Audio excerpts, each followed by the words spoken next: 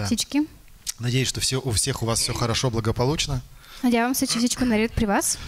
Да. И давайте, прежде чем мы приступим к размышлению над Божьим Словом, мы, Преди да започнем да размишляваме върху Словото, да, мы немного помолимся в самом начале. да се помолим. в Давайте Началото. склоним наши сердца, наши головы.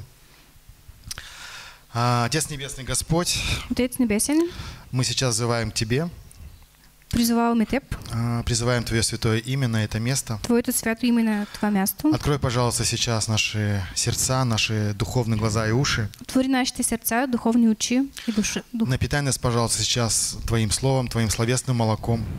Дай ни своето слово, своето словесно мляко днес. Вооружи нас, пожалуйста, для повседневной жизни. Дай ни оръжие за нашия после- повседневен живот И помоги нам применять Твое Слово в каждом дне. и помогни ни да използваме Твоето слово всеки ден. Во имя Иисуса Христа молимся. В името на Исус Христос. Аминь. Амин. Итак, дорогие друзья, а, сегодня есть такое побуждение поразмышлять с вами над такой темой, как жизнь в ожидании Христа. А, днес ще размишляваме върху темата Живот в очакване на Христос. А, Такая тема интересная, мы каждый день проживаем. Интересна тема, защото всеки ден живеем. А, Кто-то подводит свои итоги, как он прожил день вечером. Някой вечерта а, прави изводи как е прекарал деня си днеска. Кто-нибудь делает такое? Някой прави ли така? Молодцы. А кто-нибудь достигает тех целей, которые ставит на ну, ближайший день, допустим, утром или вечером прошлого дня? Някой успява ли да достига целите си, които а, поставя в началото на деня? Отлично. Как мы э, живем вот следующий день, когда мы ставим цель, ожидая, что произойдет? Как ние живеем, като поставяме целта на деня? Какво очакваме? Здорово, молодцы. А, Вообще в, в народе, ну, у нас с вами есть э, такое высказывание, Има такъв израз, народен израз, что самые тяжелые вещи в нашей человеческой жизни это два, две, две вещи или два действия. че има най-тежки неща в нашия живот са две. Какие-то, как вы думаете? Какви са те? Обычно это ждать и догонять. Есть Да такое? очакваме и да настигаме. Итак, ждать и догонять. Первое подразумевает отсутствие ак- активного действия. Първото, очакваме, това няма никакво активно действие. Второе же подразумевает наоборот. А второто се подразбира вече друго. Надо приложить очень много усилий, Трябва да приложиш много усилия да стигнеш нещо. Аминь. Мы ждем, когда определенное время еще не настало. Чакаме, когато определеното време не е настъпило.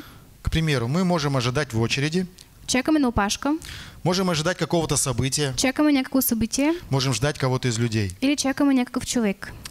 Ну, люди, наверное, нашего поколения и более старшего поколения, Хората от нашето поколение и от по-старшо поколение, они помнят, какими кошмарными очередями были ну, во многие магазины, учреждения и так далее. те помнят големите опашки по време на Съветския съюз до магазините. Мы знаем, сколько времени там проводилось. Аминь. И много време се, прека... се е прекарвало там. И это действительно было таким настоящим испытанием. Това беше истинско изпитание. И не всякий мог выдержать. Не всеки би могъл да издържи това.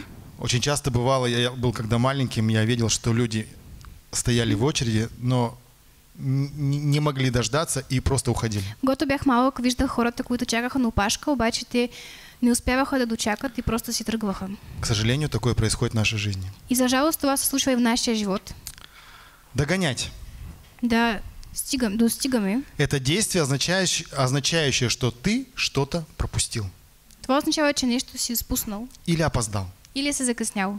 Поэтому надо прилагать максимум усилий, чтобы догнать или нагнать упущенное время или возможность, И трябва да приложиш максимум усилия да догониш нещо, если ты хочешь успеть. ако искаш да успееш.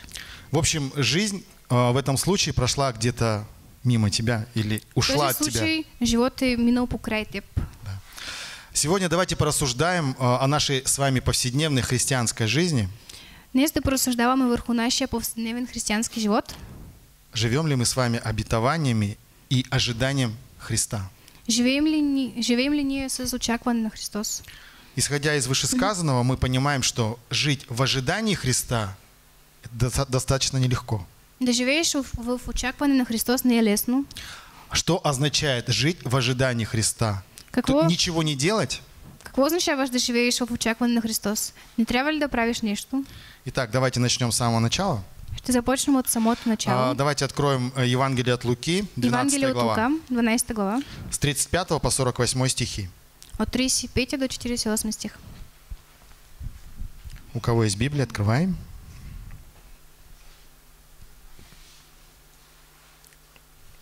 На проекторе есть на болгарском.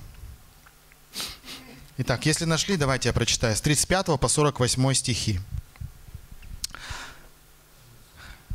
Евангелие от Луки, 12 глава, 35 и 48. «Да будут чресла ваши припоясаны и светильники горящие. И вы будьте подобно людям, ожидающим возвращения господина своего с брака, дабы когда придет и постучит, тотчас отворить ему. Блаженны рабы те, которых господин, придя, найдет бодрствующими. Истинно говорю вам, он припояшется и посадит их, и, подходя, станет служить им. И если придет во вторую стражу и в третью стражу придет и найдет их так, то блаженны рабы те. Вы знаете, что если бы ведал хозяин дома, в который час придет вор, то бодрствовал бы и не допустил бы подкопать дом свой. Будьте же и вы готовы, ибо в который час, не думайте, придет Сын Человеческий.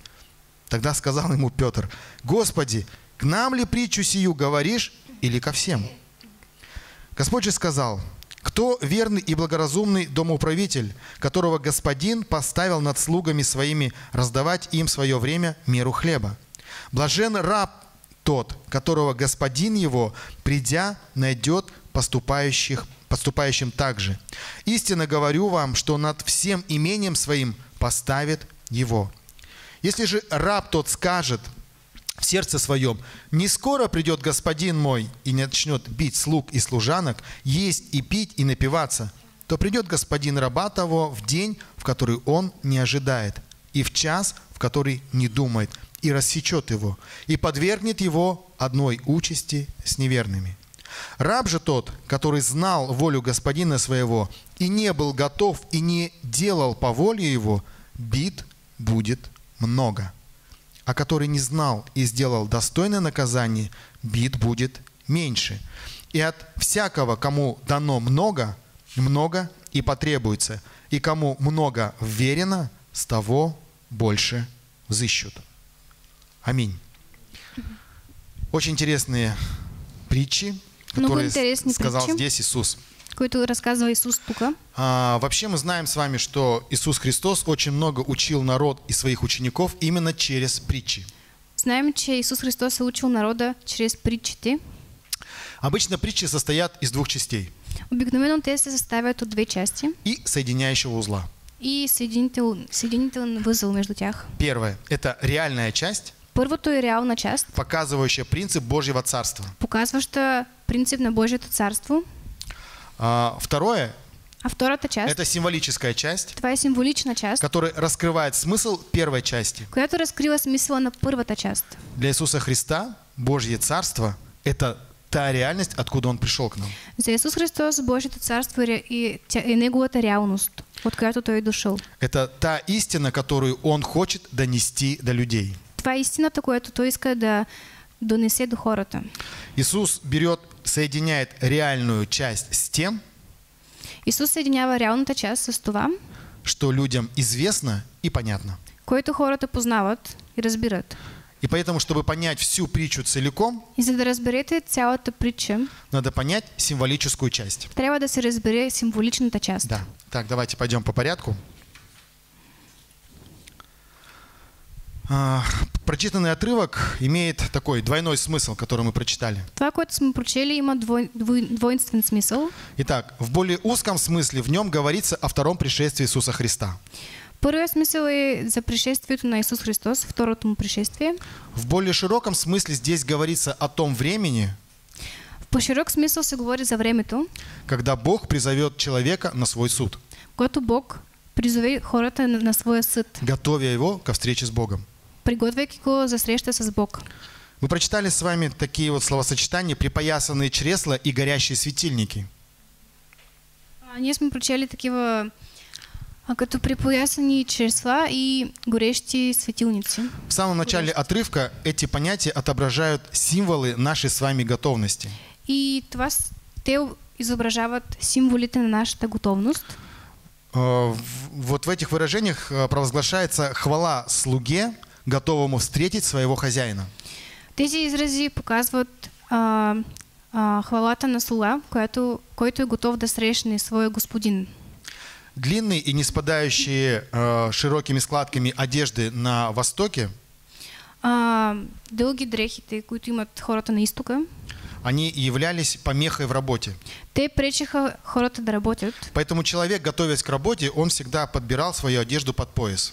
И когато човек се готвил за работа, той а, взимаше тази част от дрехата и слагаше към пояса си. Да. Чтобы потом просто можно было удобно это все расправить и размотать. И после след, след работа да му бъде удобно да го махне просто. Светильник на Востоке состоял обычно из хлопкового фитиля, А, светилник а, на се със- състои от а, памучен, а, от памук а, плавающего в сосуде с маслом. и плуващ с- съд с масло. Фитиль, когда он прогорал, нужно было всегда поправлять. И винаги м, а, а, това памуче, което сгорява, винаги трябваше да се поправя. Да. А, а лампу нужно было всегда сосуд наполнять маслом, чтобы э, светильник, э, фитиль, чтобы потом не погас. А съд винаги трябваше да се напълва с масло. Да. Итак, последователи Христа, Последователите на Христос, мы с вами считаем такими себя? смятаме ли себе Аминь. за такива? Мы себя таковыми, конечно же, считаем. И смятаме Всег- себе за такива. всегда должны быть в состоянии готовности. И ние винаги трябва да сме готови. Как написано в 40 стихе, в котором мы прочитали, 40 стих е написано «Ибо в который час не думаем, придет Сын Человеческий». и ще дойде тогава, когато не го очакваме. В притче описана сцена ожидания слугами их господина, В притчата е описана сцена как слугите очакват своя господин, который должен вернуться со свадебного пира. който трябва да се върне от сватбен пир. И мыс- мысль здесь отображена та, И тук има такава мисъл, что как, когда бы он не постучал, че когато и да дойде, слугам следует быть наготове, чтобы отворить ему. слугите трябва да са готови да отворят вратата. В первую стражу, во вторую или в третью. а, По всяко време. Да. И если господин найдет их бодрствующими, как написано в 37 стихе, И ево господин ги види, че те не спят и чакат, то написано дальше, что он и сам окажет слугам не меньше внимания, тогава той ще им отдели много внимание, чем они ему. не по-малко, отколкото те на него. Как написано, блаженны рабы те, ибо сам Мессия будет служить им. А, блажени са рабовете, защото самия Месия ще служи на тях. Сам Мессия вознаградит тех, кто бодрствовал, кто ожидал его. Месия ще възнагради тези, които не са, бодрствали. Друзья, кто хочет получить награду от Иисуса Христа? А ако иска да получи наградата от Аминь. Исус Христос, Все. всички искат. А, наверное, нет смысла говорить о желании получать награду или приз от Иисуса Христа. Може би няма смисъл да говорим за желанието да получим награда от Исус Христос, Потому что это на- естественное, нормальное состояние обыкновенного здравомыслящего человека. защото това е нормално за всеки човек. Аминь. Итак, и насказание о воре. А, и Притча о воре. а също притчата за крадец а, содержит ту же мысль. съдържа същата мисъл. Последователи Иисуса Христа, то есть мы, Последователите на Христос, т.е. ние, должны быть готовы к неожиданному пришествию Сына Человеческого. трябва да сме готови към неочаквано пришествие, Что означает для нас с вами глагол «бодрствовать»? Как вы считаете? Какво означава за нас глагол а, да, бодър, да бодрстваш, да, Это действие? да не спиш? Това действие Это глагол. Това е глагол. А что оно означает? Просто не спать? Какво означава Это това? действие. Просто да не спиш? Това е Так. действие. Что подразумевает этот глагол? Какво подразбира този глагол? Скорее всего, что-то более активное, чем просто не спать. Аминь? Нещо по-активно, отколкото просто да не спиш. Я убежден и верю, что каждому из нас хотелось бы, Аз вярвам, че всеки един от нас би искал чтобы Иисус нашел нас, Исус да ни намери, когда Он придет, когато Той дойде, чтобы нашел нас с завершенной работой. да ни намери с а, свършена работа. Жизнь многих из нас наполнена незаконченными делами. Живота на всеки един от нас е изпълнен с незавършени а, дела. Есть дела незавершенные, Има незавършени неща. есть дела, выполненные наполовину, Има неща, които са направени наполовина. есть дела, которые мы отложили до лучших времен, Има неща, които сме ги отложили за по-хубаво време. есть дела, которые мы вовсе не начали. Има неща, които не сме започнали дори. А, великие люди знают, что у них есть задания, которые им нужно выполнить. Великите хора знаят, че те имат задания, които трябва да изпълнят. Пусть оно покажется со стороны нам маленьким и незначительным, Нека отстрани да изглежда малко и незначително, но если это то, что доверил нам Бог, но ако това е нещото, което ни довери Бог, то для Него это имеет колоссальное значение. за него това има голямо значение. Иисус сам сказал в, э, в Евангелии от Иоанна в 17 главе, в 4 стихе. Исус го казва в а, Евангелие от Ио- Йоан, 17 глава, 4 стих. Иисус сам сказал, «Я совершил дело, прославил Тебя, которое Ты поручил мне исполнить». Человек не должен бросать незаконченную работу перед наступлением ночи. Човек не трябва да а, прекъсва работата си преди да я завърши а, нали, през нощта. Итак, бодрствовать – это доводить до конца начатые и незаконченные Божьи дела. А, и да си буден, това е да довършваш своите дела. Незаконченные Божьи дела. А, да довършваш недовършени Божи дела.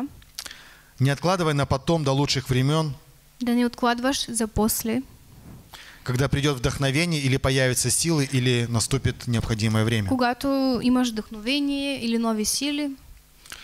Если Бог доверил дело в настоящее время, Ако Бог ти довери дело сега, значит, надо выполнить Его поручение сейчас. трябва да го изпълниш сега. Довести до логического конца и результата. Да го довършиш до край, до логически край. Потому что, как мы прочитали, Защото като, като прочетохме, завтра или потом может не наступить. утре или после може да не настъпи. Никто не знает дня и времени, когда наступит судный день. Никой не знае часа и деня, когато настъпи так, а, а, края. А какими бы нам хотелось предстать пред Господом? Какви искаме да предстанем пред Господ? Мы можем быть уверены в том, Може да сме сигурни в това, что Богу было бы приятно найти нас, помимо бодрствующих, че на Бог би било приятно да ни намери не само будни, а живущими в мире и согласии с нашими собратьями и близкими. а живеещи в мира с а, нашите събратя. Наверное, ужасно переходить в мир иной, будучи в раздоре, в конфликтах со своими родными, со своими собратьями по вере. Може би не е хубаво да преминаваш в друг свят, като имаш разногласия и конфликти с своите събратя. Как написано в послании э, к Ефесянам, Както написано към пос, а, посланието към Ефесяни, человек должен примириться со своими собратьями или близкими и усмирить свой гнев човек трябва да се примири със своите събратя и да усмири своя гнев, еще до захода солнца. Преди да залезе слънцето. Никто не знает никогда, Никой не знае никога, когда заход солнца ста- станет последним. кога залезът ще е последен. Итак, Иисус рассказал притчу, Исус разказа притча чтобы донести истину про готовность ко встрече с Ним. да донесе истина за готовността за среща с Него. А, Это касается вот отрывка с 35 по 40 стих. Това се касае отказ от 35 до 48 стих. Но в 41 стихе апостол Петр задает вопрос. А, 41 стих апостол Петър задава въпрос. Господи, нам ли говоришь сию притчу или ко всем? А, за нас ли казваш тази притча или на всичките? Очень интересный вопрос. Много интересен въпрос. То есть Петр все это время слушал, Петър през цялото време слуша он не понимал, и не разбира. он не понял сути, Той не разбра смисъла о чем говорит Иисус за и кому он говори говорит. Исус и за кого. наверняка подобным образом думали и размышляли и другие ученики. Може би по такъв начин са мислили и другите ученици. Тогда вопрос Петра побудил, побуждает Иисуса Христа рассказать следующую притчу И този въпрос на Петър кара Исус да разкаже следващата в притча, развитии и пояснении первой части. за да поясни първата част. Итак, можно открыть э, 12 главу Евангелия от Луки с 42 по 48 стихи. Да отворим Евангелие от Лука от 41 до 48 стих. 42.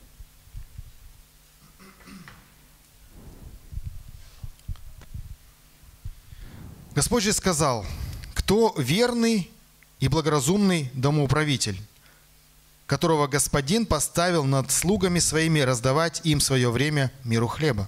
Блажен раб тот, которого господин его, придя, найдет поступающим так. Истинно говорю вам, что над всем имением своим поставит его. Если же раб тот скажет в сердце своем, не скоро придет господин мой и начнет бить слуг и служанок, есть и пить и напиваться, то придет господин раба того в день, в который он не ожидает, и в час, в который не думает, и рассечет его, и подвергнет его одной участи с неверными. Раб же тот, который знал волю господина своего и не был готов, и не делал по воле его, бит будет много. А который не знал и сделал достойное наказание, бит будет меньше, и от всякого, кому дано много, много и потребуется, и кому много верено, с того больше взыщут. Аминь. То есть э, в следующей вот части прямого ответа на вопрос Петра, к нам ли говоришь притчу сию или ко всем, Иисус не дал. А, в този отказ а, Исус не даде точен отговор на въпрос на Петър. В этой части отрывка Иисус нарисовал образ мудрого, образы мудрого и глупого домоуправителя. А, в този отказ Ис- Исус а, очерта образа на мъдър и глупав управител. На Востоке домоуправитель имел почти неограниченную власть. На изтока домоуправител е имал неограничена власт, Естественно, в рамках своего домоуправления. нали, в рамките на своето управление. Хотя он сам был из числа рабов. Обаче той също, е от чи- числа, чи- а, също се смята като раб, Но он был уполномочен распоряжаться рабами и стоять над хозяйством. но има власт да стои над рабовете и да се грижи за стопанството. Доверенный домоуправитель вел домашнее хозяйство своего господина и управлял его имением. И домоуправител той е управлявал стопанството на господина си. Достаточно вспомнить историю Иосифа, Может, как на Востоке, какими полномочиями они А, обладали. историята на Иосиф, какви а, пълномочия те имат. Да. Из слов Иисуса можно заключить, что в первую очередь Он обращается к тем, кто был облечен властью в Израиле. А, може да направим извод, че Исус се обръща към тези, кои, които имат власт в Израил, которые э, были у власти в Израиле именно в то время. които са били по време на неговото време на властта. Религиозные лидеры народа призваны были милостиво и благоразумно руководить народом в ожидании Мессии. А, религиозните управ... управници трябваше да а, Благоразумно. а благоразумно да подготвят хората за среща с Исус, Мессии, Да. с Месия. Но они не выполнили возложенные на них задачи и не бодрствовали в ожидании царства. Обаче те не са изпълнили задачите си и не са били будни. Если рассматривать более расширенное толкование, И ако гледаме по разширено тълкование, можно предположить, что во второй притче Иисус подразумевает всех его рабов. и във втората част може да видим, че Исус предполага а, всичките си рабове, знающих волю господина своего, които знаят волята на господина си, но дерзко и упорно не исполняющих ее. но не, не я изпълняват. К сожалению, иногда мы с вами попадаем в такое положение. Понякога ние сами попадаме в такова положение, Как написано в этом отрывке, такие верующие будут подвергнуты одной участи с неверными, то есть с неверующими. и такива вярващи ще, а, в края ще бъдат а, наказани, както и невярващи. Итак, глупый домоуправитель совершил две основные ошибки. Глупав домоуправител направи две основни грешки. Ну, или иногда мы с вами такие совершаем. Или ние също можем да правим такива понякога. Первое. първата, Он сказал себе, пока нет хозяина, я буду делать, что хочу. той каза, докато няма а, господин, ще правя каквото искам. Он забыл, что настанет день, когда придется давать отчет о всех своих действиях. Той забрави, че в ед- един ден ще настане, когато трябва да си направи сметка за какво, е направил. Иногда мы с вами делим свою жизнь на такие отдельные эпизоды. Понякога си разделяме живота на а, отделни епизоди. Иногда мы помним, что и знаем, что Бог есть. Понякога знаем, че Бог го има. Иногда мы не думаем о нем. Понякога не мислим за Него Мы стремимся отделять священное от мирского. и се стремим да отделяме свещено от а, мирск, а, с- а, светско. Но если мы правильно понимаем Дух Христа, Но ако правилно разбираме духа на Христос, то мы знаем, что без Бога нет и ни малейшей части нашей жизни. че без Бог не може да съществува и малката част от нашия живот, Что для Господа не существует никакого темного или неизвестного пятна в нашей жизни. че за Бог няма никакво тъмно или неизвестно петно в нашия живот, Ни в прошлой, ни в настоящей, ни в будущей жизни. ни в минало, ни в настояще, ни в бъдеще. Церковь, мы все с вами работаем и живем, и находимся всегда в Его присутствии. Ние всички работим, живеем и се намираме в Негово присъствие. Давайте не будем про это забывать. Да не забравяме за това. Второе. Второто, Домоправитель говорил себе, домоуправител си казва, времени у меня много. имам много време. Все успею привести в порядок Всичко ще успея да довърша, до пришествия моего господина. преди моя господин да дойде. Как вы думаете, это соответствует тому глаголу бодрствовать, который мы с вами говорили Това раньше? съответства на това да си буден или не? Конечно же нет. Разбира се, че не. Нет более опасного предположения того, Няма по-опасно предположение, что впереди еще много времени. отколкото да си кажеш, че имаш много време. Иисус сказал, Исус каза, мне должно делать дела пославшего меня, доколе есть день. а, ще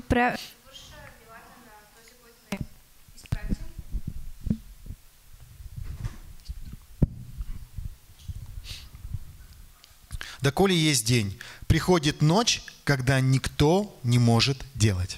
И после идва нощта, когато никой нищо не върши. Есть один очень мудрый, пожилой и человек с очень высоким социальным статусом. Има един мъдър а, стар човек с висок статус. Он никогда не назначает встречу и не приглашает к себе людей на какую-то далекую дату. Той никога не а, планира срещи за далечни дати. Он всегда говорит «сегодня». Винаги казва днес. Как только человек открывает для себя слово «завтра» или «потом», Когато човек използва думите като утре или после, жизнь становится опасной. животът става опасен. Итак, э, сегодняшний отрывок заканчивается предупреждением о том, Днешният отказ завършва с предупреждение за това, что знания и привилегии всегда связаны с ответственностью. че знания и привилегии винаги са свързани с отговорност. Как написано, кому больше дается, Както написано, който получава повече, с того больше спросится. той ще има повече отговорност. Друзья, вдвойне опасно грешить тем, кто прекрасно знает, что значит, что значит грех. Двойно опасно да грешат тези, които а, осъзнават какво е греха. И еще двойное осуждение тому, И двойно получават осъждение тези, у кого были все возможности делать благочестивые дела, които са имали да правят, които са имали възможност да правят благочестиви дела, но не делает их. но не, не ги правят.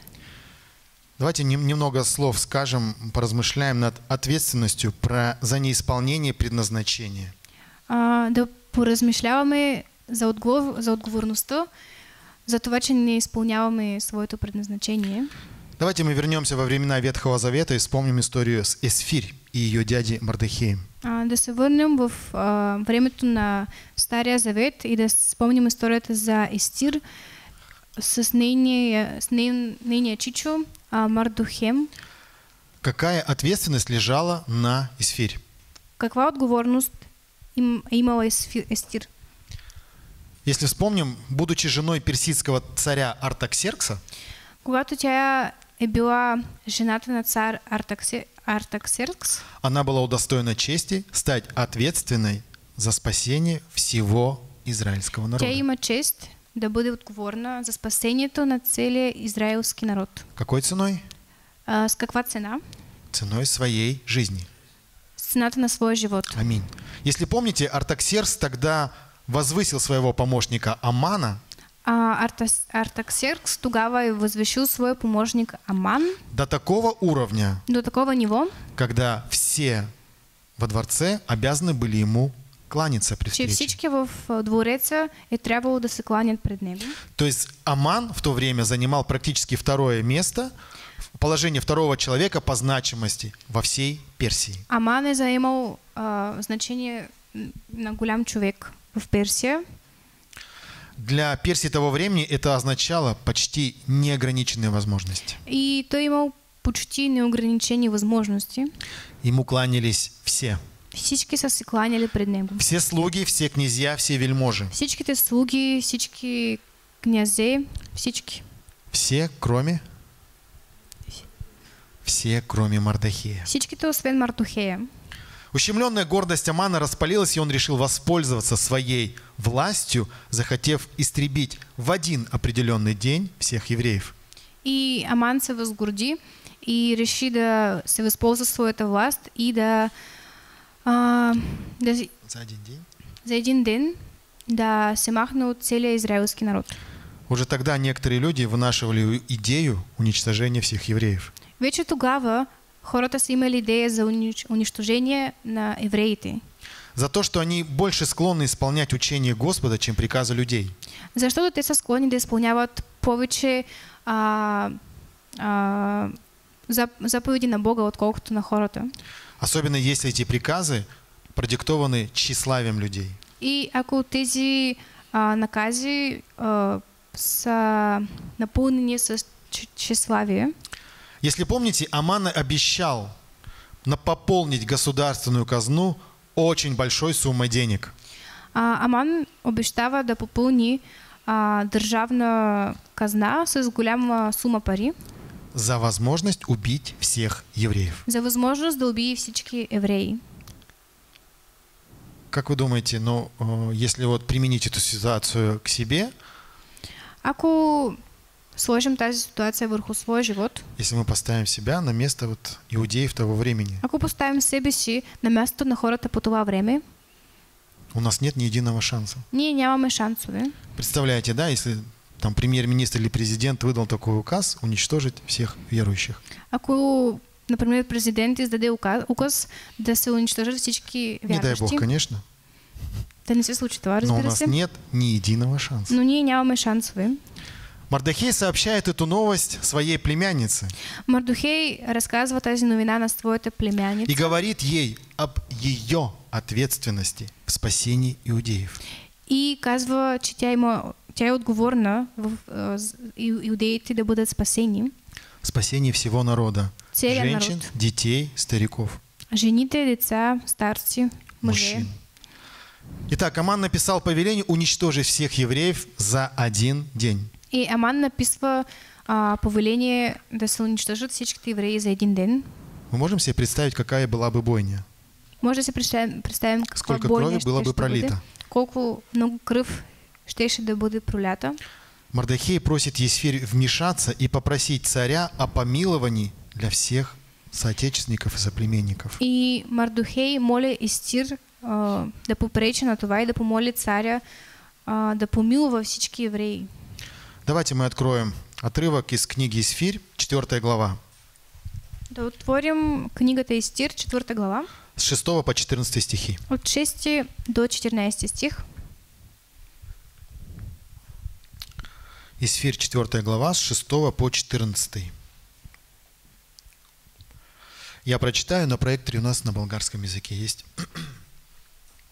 «И пошел Гафах к Мардахею на городскую площадь, которая пред царскими воротами, и рассказал ему Мардахей обо всем, что с ним случилось, и о- об определенном числе серебра, которое обещал Аман отвесить в казну царскую за иудеев, чтобы истребить их. И вручил ему список с э, указа, обнародованного в Сузах, об истреблении их, чтобы показать Есфире и дать ей знать обо всем. Притом наказывал ей, чтобы она пошла к царю и молила его о помиловании и просила его за народ свой. И пришел Гафах и пересказал Есфире слова Мардахея. И сказала Есфирь Гафаху, и послала его сказать Мардахею, все служащие при царе и народы в областях царских знают, что всякому, и мужчине, и женщине, кто войдет к царю во внутренний двор, не быв позван, один суд – смерть. Только тот, кому прострет царь свой золотой скипетр, останется жив. А я незвана к царю вот уже 30 дней. И пересказали Мардахею слова Исфири. И сказал Мардахей в ответ Исфири, «Не думай, что ты одна спасешься в доме царском из всех иудеев. Если ты промолчишь в это время, то свобода и избавление придет для иудеев из другого места, а ты и дом отца твоего погибнете. И кто знает, не для такого ли времени ты и достигла достоинства царского. Аминь. Здесь Мардахей предупреждает царицу Исфирь, свою племянницу, о последствиях неисполнения ею всех доступных для нее возможностей для спасения своего народа. М, Мардухей предупреждава Истир а, Об ответственности за отговорност и последиците, ако тя не спаси евреите, Даже ценой своей собственной жизни. дори с цената на своя живот, Пойти к царю и просить отменить то, что он скрепил своей печатью, да отида към царя, да го моля да отмени това, което той на, на това, което той вече сложи своята печат. даже для царицы было очень и очень рискованно. Дори за царица това е било много рисковано. Исфирь говорит об этом дяде. И. Они прекрасно знают, что случилось с царицей Астинь. И те знаят какво се е случило с предишната царица Астин. И эта история была перед глазами Исфирь. И, и тази история е била пред очите на Естир. Как вы считаете, страшно ей было? Страшно ли е било? Конечно, Разбира се. безусловно. Исфирь исполнила свое предназначение, осознав свою ответственность. Естир изпълнила ли е своето предназначение, като е осъзнала своята отговорност? Конечно же. Разбира се. Бог наделил ее, наделил ее мудростью, как правильно донести свое стремление спасти родной народ от смерти, донести до царя. Бог е дал мъдрост на нея как, да, как правилно да каже всичко на царя и да спаси своя роден народ от смъртта. Дорогие друзья, может быть, мы не занимаем сегодня высоких положей, пом- высокого положения в нашем обществе. Може би ние не заемаме високи позиции в обществото. У нас ограниченные возможности по сравнению с возможностями царской жены. Имаме по-ограничени възможности, отколкото жената на царя. У нас нет, возможно, такой земной власти и полномочий, как у Исфирь. Може би нямаме власт и пълномочия като Истир, Но каждый из нас, осознав свою ответственность за спасение своего дома, но всеки един от нас, като осъзна... осъзнавайки отговорност за спасение на своя дом, за спасение людей, с которыми ты дружишь, работаешь, просто общаешься, за спасение на хората, с които просто общуваме, се срещаме, и просто за людей, которые ну, да, встречаются на нашем жизненном пути, может исполнить свое предназначение. и просто хората, които срещаме в нашия повседневен живот. Да. Задумываясь об этом, мы можем исполнять свое предназначение. Замисляйки се върху това, ние можем да изпълняваме своето предназначение. Совершенно не важно, чем ты сегодня занимаешься, Не важно с какво се занимаваш днес, какие у тебя ресурсы и полномочия. какви имаш ресурси, пълномочия. Очень важно найти свое предназначение в Иисусе Христе. Много важно да намериш своето предназначение в Исус Христос, Найти предназначение и исполнять его. да, да го намериш и да го изпълняваш. Трудись, общайся, дружи, А, р- труди се, а, раб, а, работи, общувай и приобретай сердца Иисуса Христа, э, сердца людей для Иисуса Христа.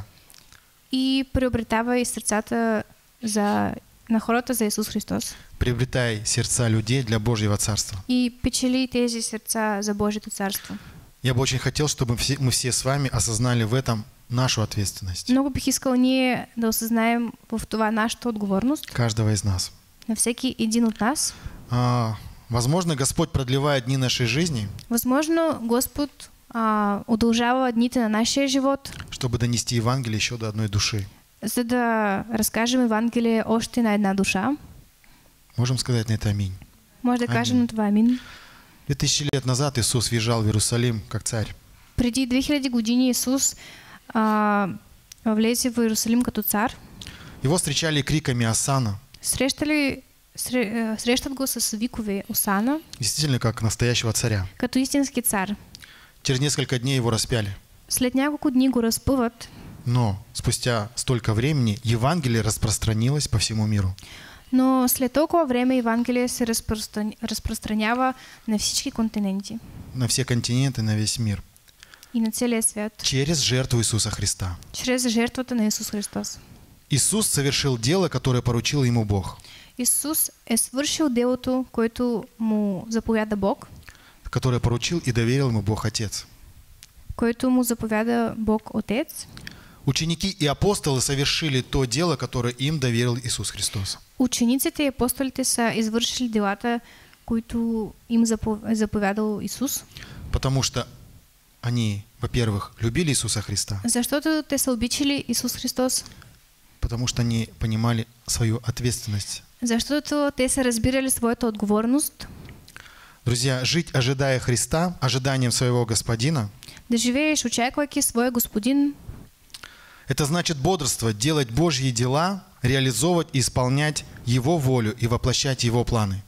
това означава да си буден, да изпълняваш Божие дела, да изпълняваш Неговата воля и Неговите планове Очень важно доводить доверенные им дела до конца. и да свършваш делата му до края. Не только потому, что Иисус обещал награду за это, Не само за това, че Исус обещава награда за това, когда Он придет, когато дойде, а потому что любовь – это главный мотиватор, защото самый сильный мотиватор. любовта е най-главният мотиватор, най-силният, А мы очень любим Иисуса Христа. ние много обичаме Исус Христос. Аминь. Амин. Аминь. Давайте склоним наши головы. Давайте Нека да се вознесем молитву. Отец Небесный, Господь, Отец Небесен, благодарим Тебя, Боже, благодарим Ти Боже за то, что Ты доверяешь нам исполнять Твои дела. за, за това, че ни доверяваш да изпълняваме Твоите дела, За то, что Ты даешь нам веру и силу да ни дава, че ни даваш вяра и сила, доводить эти дела до конца. да довършваме тези дела до край. Господь, мы хотим быть мудрыми рабами, Искаме да бъдем мъдри роби, которые бодрствуют в ожидании Твоего прихода. които са будни в очакване на Твоето идване. Мы хотим приносить достойный плод, Искаме да имаме достоен плод достойный плод своей жизни, в своя живот, который Ты ожидаешь от нас. който Ти очакваш от нас.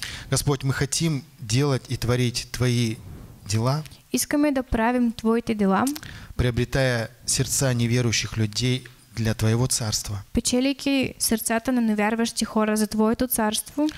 Мы просим Тебя, благослови, пожалуйста, нас на дела веры, Молим Те да ни благословиш на делата на вярата, а, чтобы мы могли в полноте бодрствовать, ожидая Твоего прихода. да можем напълно да сме будни, очаквайки Твоето идване. За все Тебя благодарим, Боже, отдаем все в руки Твои. За всичко Те благодарим и всичко даваме в Твоите ръце. Молимся во имя Иисуса Христа. И се молим в името на Исус Христос. Аминь. Амин. Будьте благословенны. Спасибо.